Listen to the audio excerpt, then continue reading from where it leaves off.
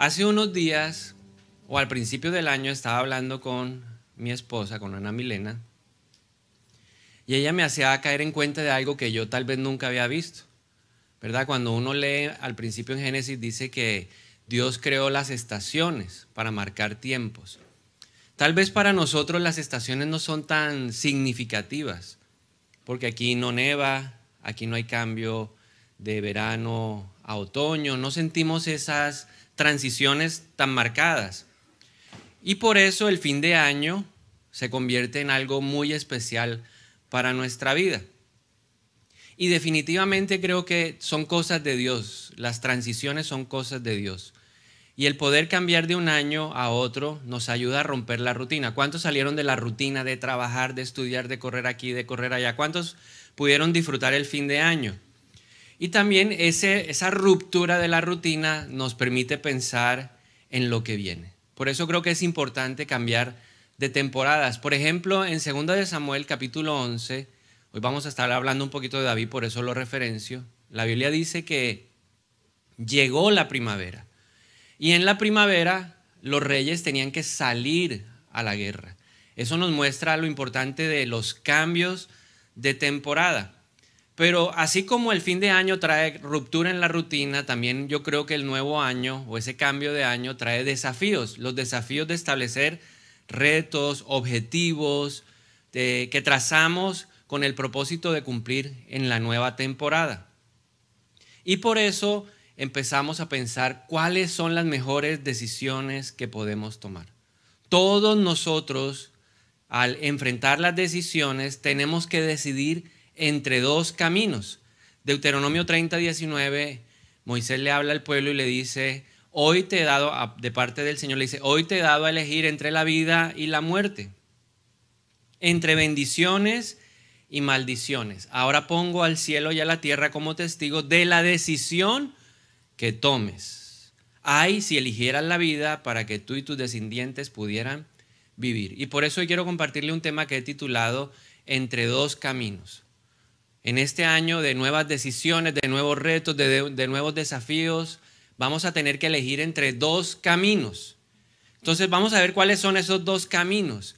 Y para eso vamos hoy a ver un, un momento en la vida de David que no fue muy bueno, que fue su error con Betsabé.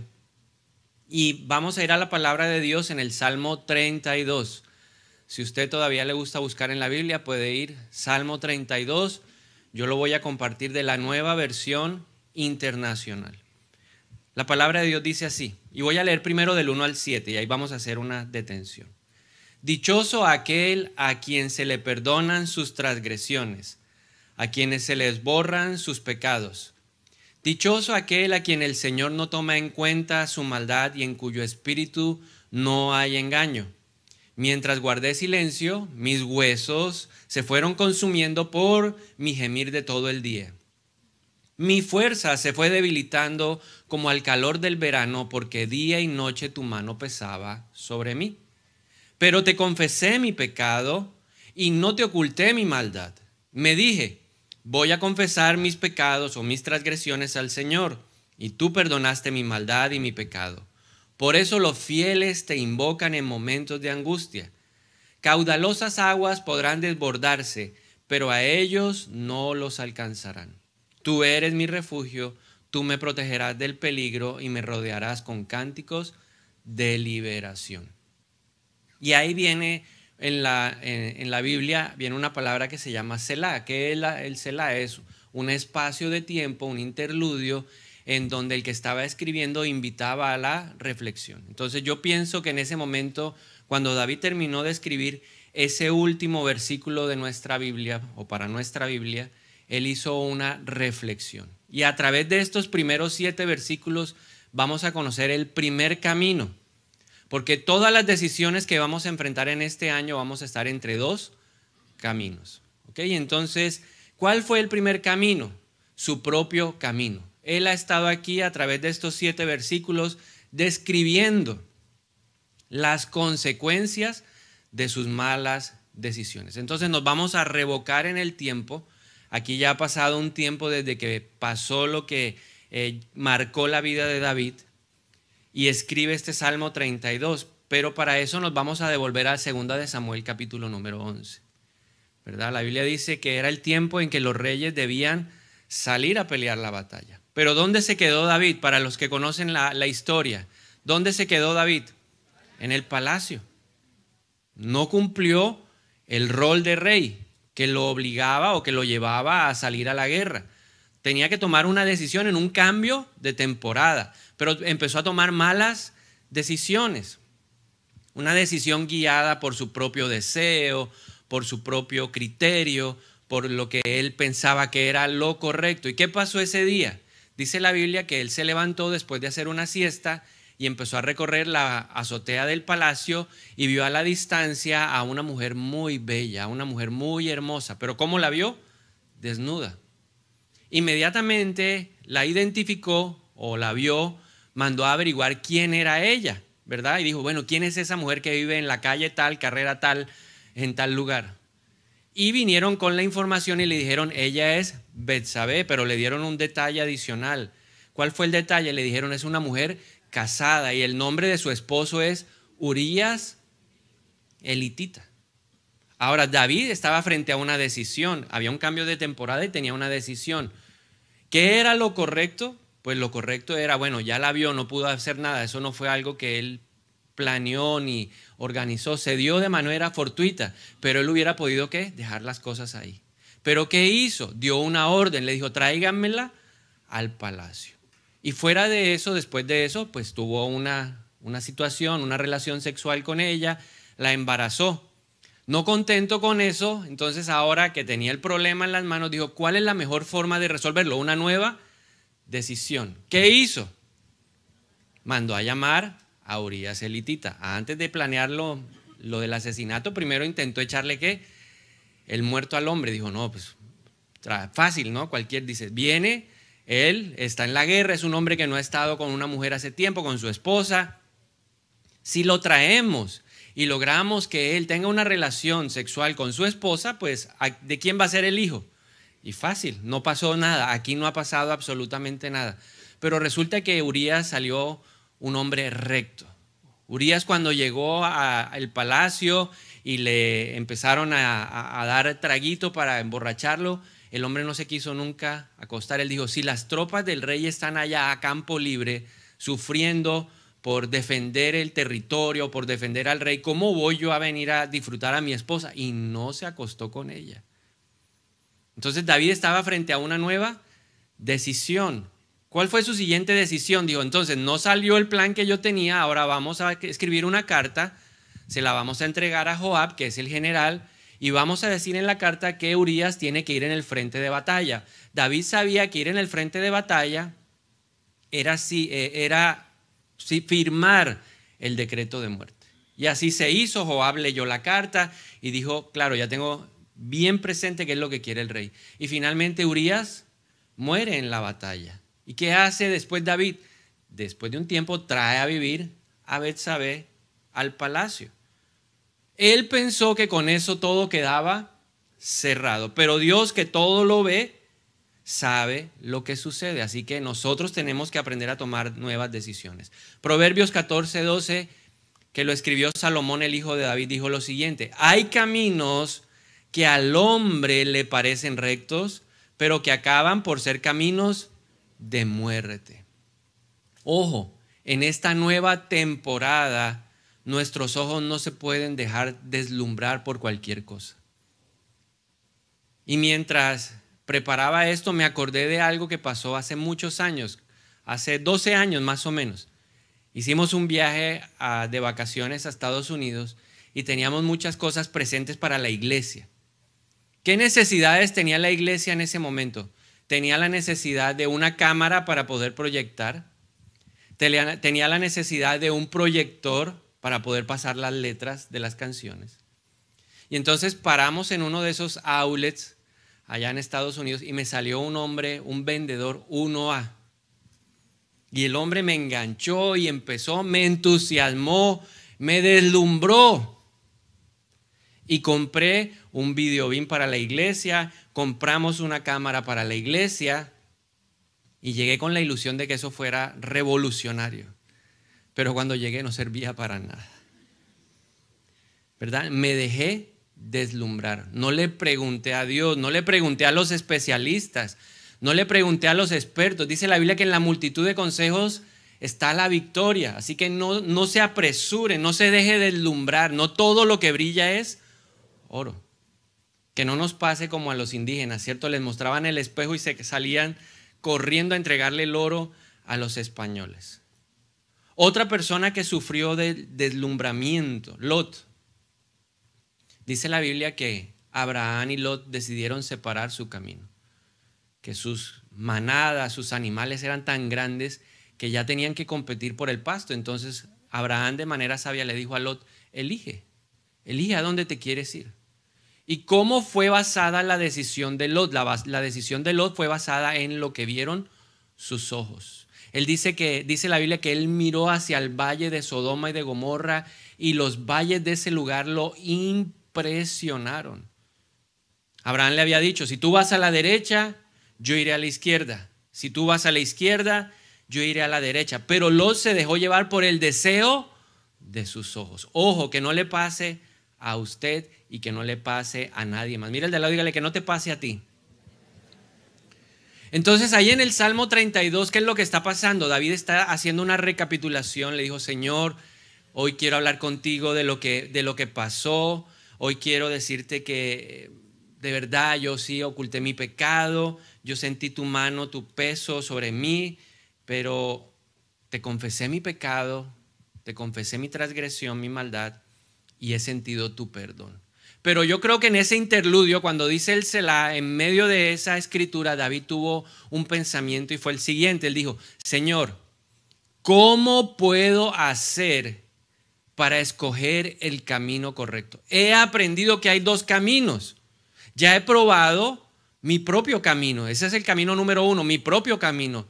Y descubrí que mi camino trajo esta desgracia a mi vida. No solamente eh, tengo sangre en mis manos, la sangre de un hombre inocente como fue Urias, sino también experimenté el dolor de perder a un hijo, porque fruto de esa relación nació un hijo, pero ese hijo murió. Entonces David sabía en carne propia lo que era tomar malas decisiones, ese camino propio, impulsivo, que es eh, al que a veces entramos por nuestra propia necedad, él lo estaba experimentando y dijo, Señor, yo no quiero volver a correr por ese camino. Y en ese instante, después de esa reflexión, en el versículo número 8, aparece la intervención de Dios que él registra de la siguiente manera. Él dice lo siguiente en el versículo 8 del Salmo 32. Dice, el Señor dice, ¿quién está hablando ahí? Dios. El Señor dice, yo te instruiré yo te mostraré el camino que debes seguir. Yo te daré consejos y velaré por ti. Entonces Dios le está diciendo, o le dijo a David y nos dice a nosotros en esta mañana que hay otro camino. Y el segundo camino en este cambio de temporada por el que podemos caminar es el camino de Dios. Y le dice, yo te voy a dar una promesa. En tu camino tú encontraste muerte, pero en mi camino siempre encontrarás instrucción, en mi camino encontrarás consejos, en mi camino encontrarás protección. ¿En qué consiste la instrucción? Si usted decide, porque hoy quiero resaltar eso, ¿quién es el que tiene que tomar la decisión por cuál camino ir? Nosotros. Le puede levantar la mano y decir, yo, yo tengo la, yo soy el que decido. Tal vez usted este año está diciendo, ¿me caso o no me caso? Usted decide. No, que voy a hacer eh, un estudio, usted decide. No, que yo quiero cambiar la casa, usted decide. No, que yo eh, quiero ver si me compro un carro, usted decide. No, que yo quiero irme de viaje, usted decide. Dios nos dio esa oportunidad de tomar decisiones. Aquí lo que Dios nos está diciendo es, hay un camino que puede ser tu propio camino o hay un camino en el que yo te voy a instruir, en el que yo te voy a acompañar, en el que yo te voy a aconsejar y en el que yo voy a velar por ti. Tú decides por cuál camino se quiere ir. Hay unos que todavía están mi camino o el camino. ¿Por cuál camino te quieres ir este año? ¿Por cuál camino te quieres ir? Por el camino de Dios. Listo, nos queremos ir por el camino de Dios. Al final del año queremos estar en victoria, ser más que vencedores. Entonces el Señor le dice a David, te voy a instruir. ¿En qué consiste la instrucción? ¿Qué dice el diccionario sobre instruir? Dice el diccionario que es proporcionar conocimientos, habilidades, ideas, experiencias a una persona para darle formación. Dios nos quiere dar conocimiento, habilidades, ideas, experiencias para formarnos. En hebreo la palabra significa hacer experto, dar sabiduría, aprender a ponderar. Ponderar significa examinar con imparcialidad para sacar conclusiones objetivas del asunto. O sea que cuando usted se vaya a sentar a tomar una decisión, si tenemos la instrucción del Señor, vamos a ser que imparciales, no emocionales. ¿Cuál es el peor enemigo de una decisión? Las emociones. Se lo digo por experiencia propia. Porque ese hombre me vio las ganas. Ese hombre, claro, como buen vendedor, dijo, mm, aquí sale un olor de necesidad. Y el hombre me encarameló.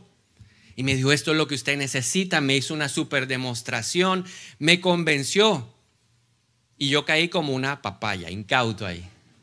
Caí pleno, completico. Pero esa noche, y le confieso que fue lo que pasó, esa noche, ay, le compramos, le compré un computador a, Ana Milena, me decía, yo quiero un mini. Y se compró el mini, y yo quedé con una inquietud en el corazón, ¿será que sí? Y entré en el mini de ella, en otra empresa a buscarlo, y me habían tumbado con el mini. Me había cobrado más caro el videobin. La famosa cámara que era una supuesta eh, ñapa o un regalo, eso no era ningún regalo, eso no servía para nada. ¿Por qué? Porque me dejé llevar por mis emociones. Pero cuando Dios está en el asunto, cuando lo involucramos en nuestras decisiones, Dios nos va a ayudar a controlar nuestras emociones para que podamos evaluar con parcialidad lo que vamos a decidir. Nos emociona, nos vamos a casar y uno, ay, llegó el que estaba esperando o llegué la que estaba esperando y se emociona uno. Y resulta que Dios le está diciendo, ese no es.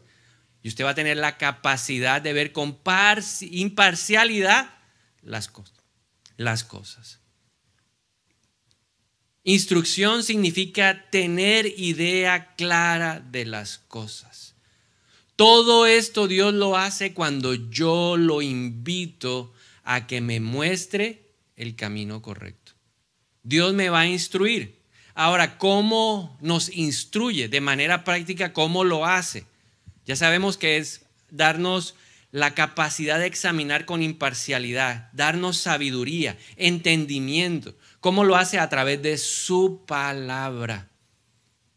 La Biblia tiene cosas absolutamente claras, precisas. Segunda de Timoteo 3, 16, 17 dice, toda la escritura es inspirada por Dios y es útil para enseñarnos lo que es verdad, para hacernos ver lo que está mal en nuestra vida. Nos corrige cuando estamos equivocados y nos enseña a hacer lo correcto. Dios la usa para preparar y capacitar a su pueblo para que haga toda buena obra.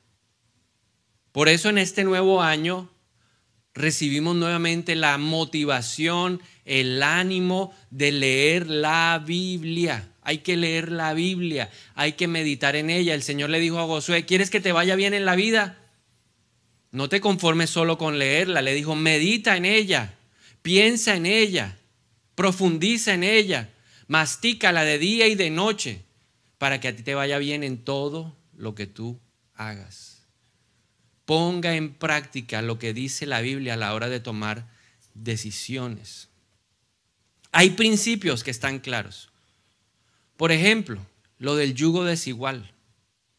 Ay, pastor, lo que pasa es que encontré al hombre de mi vida y perfecto, ¿y dónde, en qué equipo va? ¿O dónde viene a la iglesia? No, él no viene, pero va a venir. No, deje lo primero que venga. Que se convierta, que Dios se vuelva su prioridad, que ame a Dios por sobre todas las cosas, inclusive por sobre usted, para que luego pueda decirme que esa sí es una buena decisión. Y así, el Señor tiene muchos principios en su palabra para nosotros poder tomar buenas decisiones. Dios nos quiere enseñar paso a paso cómo caminar con Él. Entonces, en eso consiste. ¿Qué es lo que dice Dios? Promesa número uno, te voy a instruir. Antes de tomar una decisión, pregúntele a Dios. ¿Lo debo hacer? ¿No lo debo hacer? ¿Es lo correcto? ¿Es lo incorrecto? Recuerdo una vez un hombre, un caballero, que me llamó a pedirme un consejo. Entonces él me dijo, mire, y llevaba varios meses sin trabajo. Me acaban de ofrecer un trabajo, pero en ese trabajo me están pidiendo que una parte de lo que yo voy a recibir se lo devuelva a la persona que me nombró para que él pueda ah, mantener sus cosas. Le hago una pregunta. Yo le hice la pregunta a él. ¿Qué dice la Biblia? No sobornes, no aceptes soborno ni de soborno. Eso no le agrada a Dios. Entonces le dije, con, esa, con ese versículo, ahora toma la decisión. ¿Es correcto o es incorrecto? ¿Será que Dios no nos puede abrir otra puerta? El enemigo nos engaña y nos dice, no, acá no hay trabajo. Mire, todo lo que hay en la tierra le pertenece a Dios. ¿Qué es lo que se necesita? Fe, fe, fe. Nos quejamos, criticamos, condenamos la corrupción, nos da rabia. ¿Cuánto les molesta, les indigna que se roben la plata, la salud, la educación? ¿Cuántos se sienten así indignados? A ver, levanten la mano. Y, entonces tenemos una reunión y decimos, no, este país está consumido por la corrupción. Pero por debajo de mesa nosotros estamos haciendo qué? Lo mismo. ¿Cree que ese es un camino de bendición? Ese no es un camino de bendición, es un camino de muerte. El enemigo cobra todo lo que uno hace. Dios no cobra nada, pero el enemigo sí. Lo segundo que le dijo el Señor a David es, te mostraré el camino. Si usted decide preguntarle a Dios cuál es el camino, no solamente lo va a instruir, sino que le va a decir, ese es el camino. La palabra mostrar en el original es guiar. Y la palabra guiar significa fluir correctamente como el agua. Uno el río no lo ve que va contracorriente, el, el río se mueve en su cauce natural, va aguas abajo. Cuando Dios nos muestra el camino, nosotros vamos a fluir como el agua. ¿No se ha dado cuenta que cuando uno está en, el camino del Señor todo fluye? Sí, va a encontrar obstáculos, pero Dios es especialista en enderezar la senda. Dios es especialista en allanar los caminos. Y uno siente que uno no va peleando contra la corriente, sino que todo va saliendo de manera fluida. ¿Cuántos han podido experimentar eso? de que hemos entrado en el camino de Dios y uno dice, no, todo me está saliendo bien, uy, esta persona me ayudó, Dios pone ángeles en todos los lugares, porque Dios está interesado en darle dirección a nuestra vida, porque Dios sabe que nosotros somos ovejas y las ovejas son ciegas y las ovejas se meten en problemas. La oveja es especialista en enredarse en el arbusto. La oveja es especialista en caer patas arriba. La oveja se puede morir sin dirección. Dios sabe que si nos fundamentamos o tomamos decisiones en nuestro propio criterio, vamos a ir por caminos de muerte, no por caminos de vida. Juan 16, 13 dice, cuando venga el Espíritu de verdad, Él los guiará a toda la verdad. ¿Quién nos guía? ¿Quién es el que nos habla? ¿Quién es el que nos susurra? Mire lo que dice Isaías 30, 21.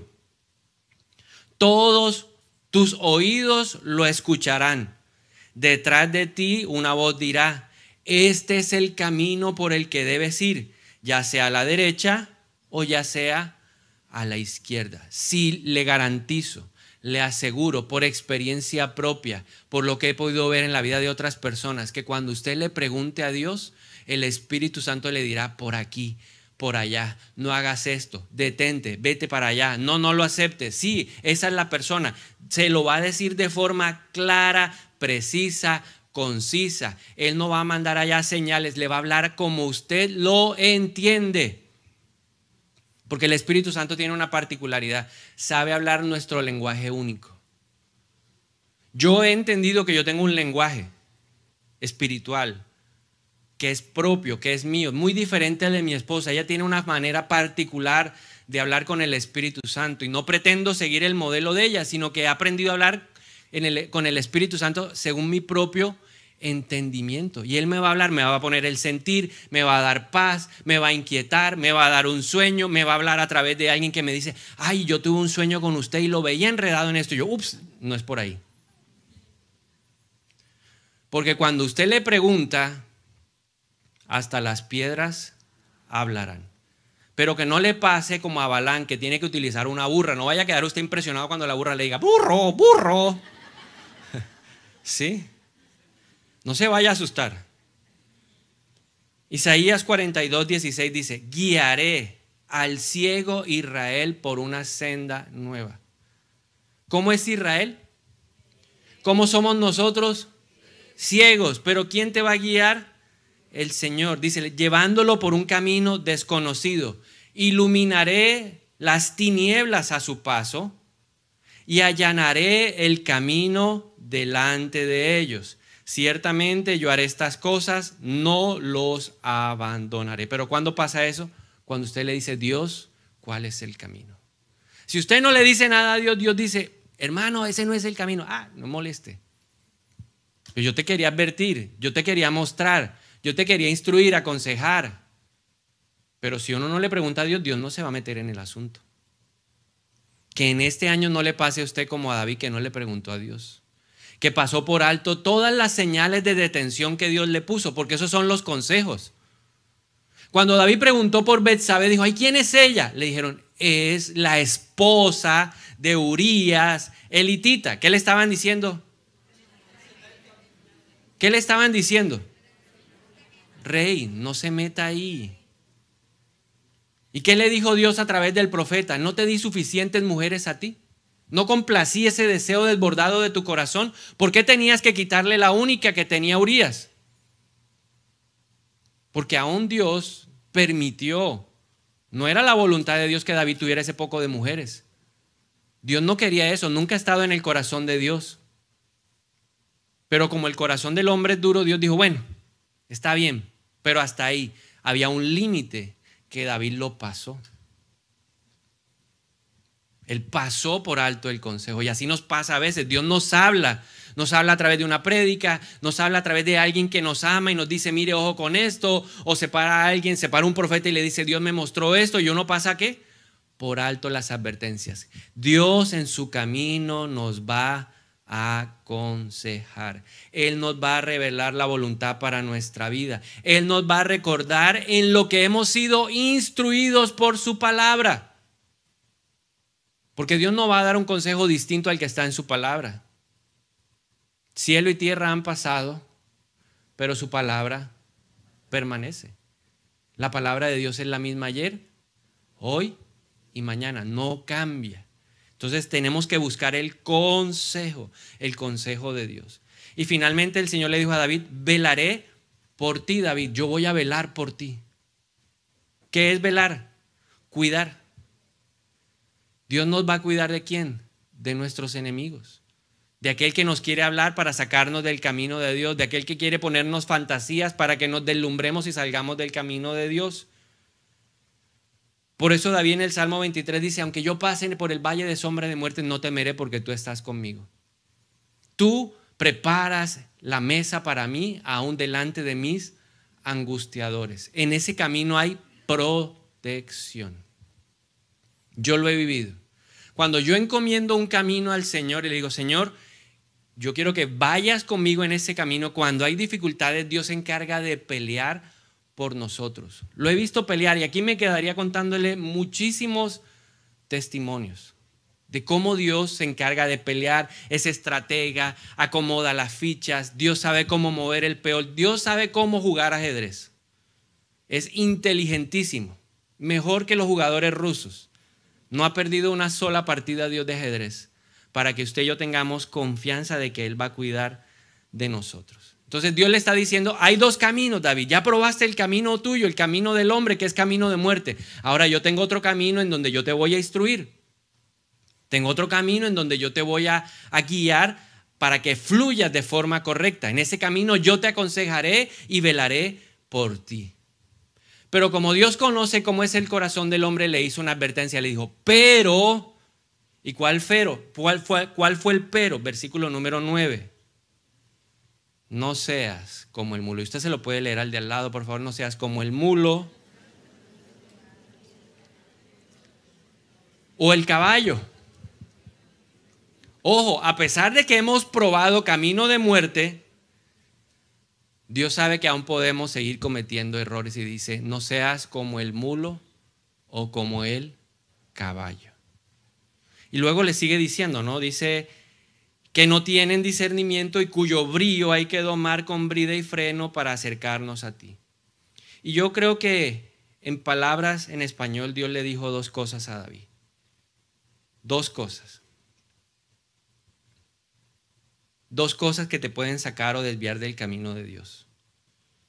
No seas como el mulo y el caballo. El caballo es un animal apetecido, ¿cierto? En cuando uno lee el Antiguo Testamento ve que el caballo era un, animal de batalla. No le teme a la batalla. El caballo, el caballo es admirado por eso, es impetuoso, es, tiene una fuerza admirable.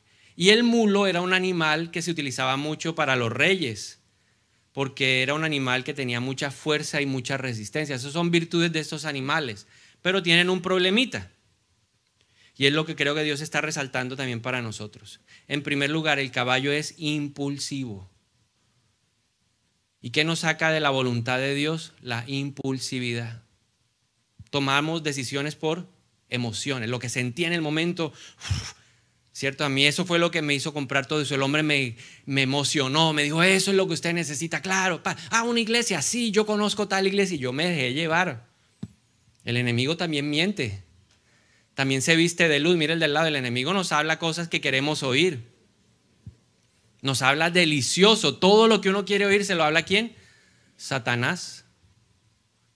Ah, que claro, estaba solo, esa es la persona, mira cómo te trata, mírata. Y le muestra una cosa que uno no, lo deja ver, lo que en realidad es. David que, eh, perdón, eh, Sansón que veía de Dalila. Es divina, esa niña, uy, ese cabello, uy, ese cuerpo, uy, pero no podía ver lo que había en su corazón. Estaba que deslumbrado. El enemigo le había puesto lo que él quería, a él le gustaban así, ¿cierto? Se la puso pelinegra, así, morenita, bien linda, como le gustaba a él. Y se dejó llevar por las emociones. El caballo siempre está inquieto con el deseo de correr hacia adelante. El caballo no piensa. El caballo está esperando, suéltenme, que yo voy para adelante. Y hay momentos en donde se necesita hacer así, pero hay momentos en donde necesitamos que el reposo. Si no, Dios no hubiera dicho en el Salmo 46, 10, quédense quietos. Si no, si no, el Señor no le hubiera dicho a Josafat, quieto. Si no, no le hubiera dicho a David, quieto. Hay momentos en donde tenemos que aprender a decirle a nuestras emociones que, quieta Margarita, quieta, quieta, porque son, somos impulsivos. ¿Cuántos son impulsivos acá? O somos, perdón. Damos la gloria, la honra al Señor por aquellos que no son impulsivos, no son emocionales, todo lo piensan. Oh Señor, Espíritu de Dios, háblame. Yo, yo le digo, Señor, ponme el freno. Si usted es así, dígale hoy, Señor, ponme un freno porque soy, ay. Y lo segundo, el mulo. ¿Cuál es el dicho que tenemos del mulo? Más terco que una Puede decírselo al de al lado, más terco que una. Entonces, ¿las mulas cómo son? Tercas. El caballo es impulsivo, la mula es terca.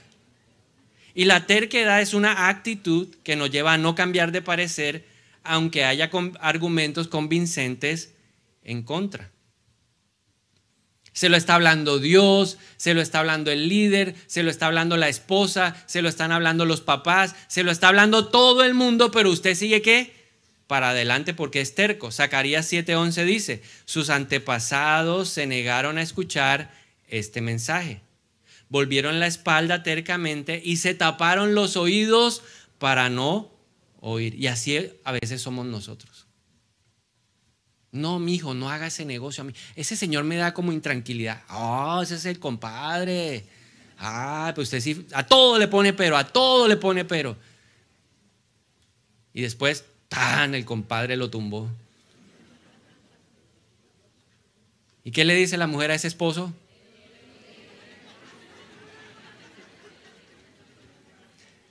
O el papá que le dice al hijo, se lo dije, se lo advertí. ¿Sí o no? ¿A cuántos se le ha pasado que le han dicho así? Se lo dije. Yo se lo dije. Y uno como líder solo hace. Se le dijo.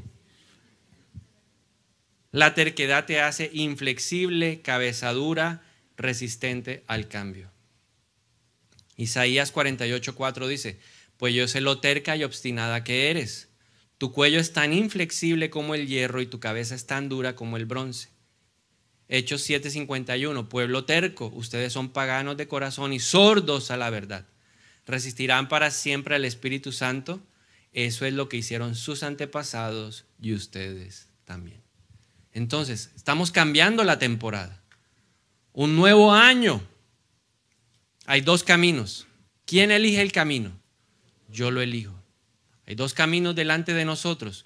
Un camino de vida, un camino de muerte. Si yo decido no invitar a Dios, yo me voy por mi propio camino y mi propio camino es un camino que terminará en muerte. No va a terminar bien.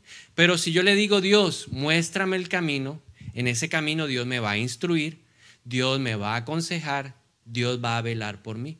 Pero en este año 2023, cuídese de dos cosas.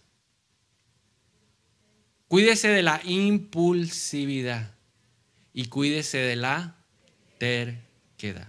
Amén. Entonces vamos a pedirle a Dios en este año, vamos a entregarle al Señor el año, vamos a encomendarle nuestro camino y vamos a confiar de que Él hará. Por eso quiero invitarlo a que se ponga de pie. Por un momento oremos.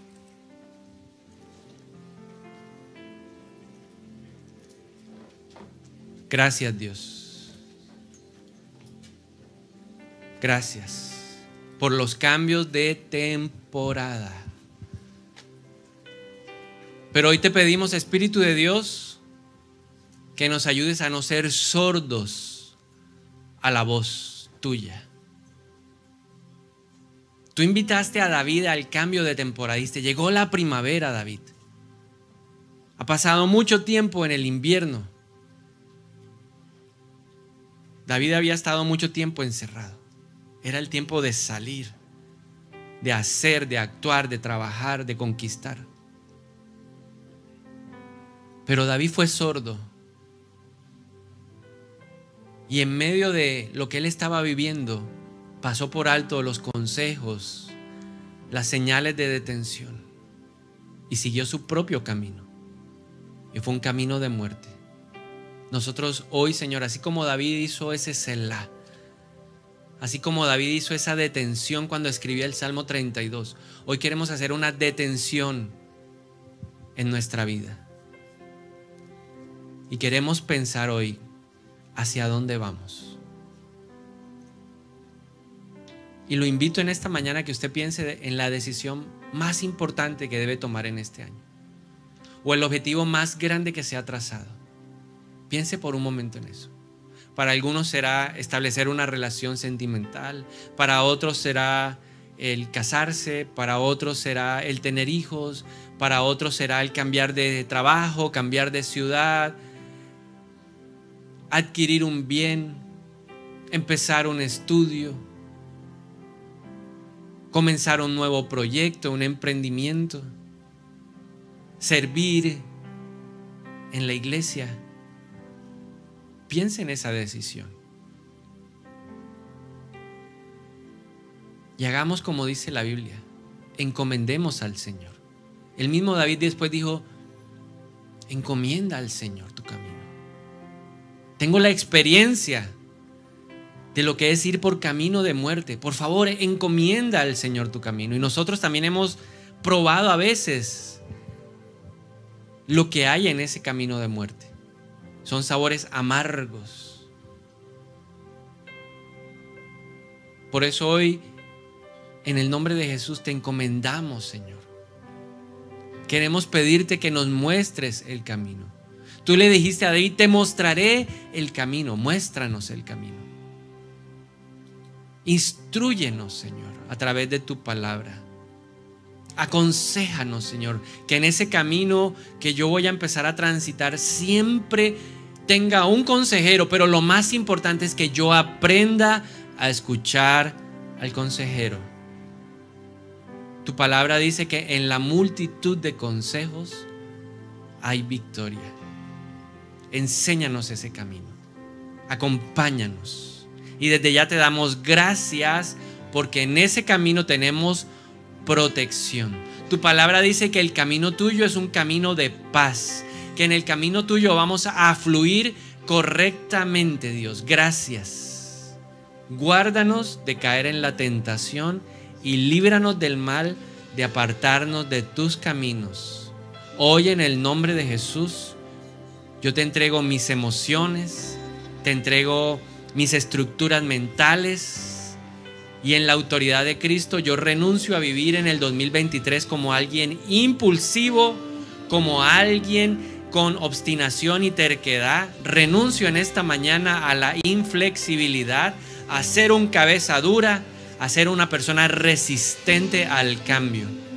En el nombre de Jesús. Te pido que me des un espíritu dócil, un espíritu enseñable, un corazón enseñable, un corazón que se deje dirigir por ti.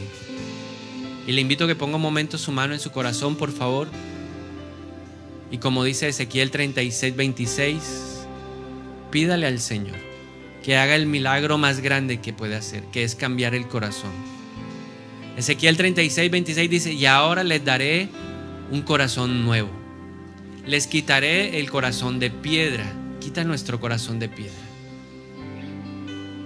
Y ahí el Espíritu de Dios dice a través del profeta, y entonces les pondré un corazón de carne, un corazón dócil, tierno y receptivo a la voz de Dios. Y yo oro para que mi corazón sea tierno y receptivo a la voz de Dios. Ayúdanos, dirígenos en este nuevo año. Te lo pedimos en todos nuestros caminos, en el nombre de Jesús. Amén.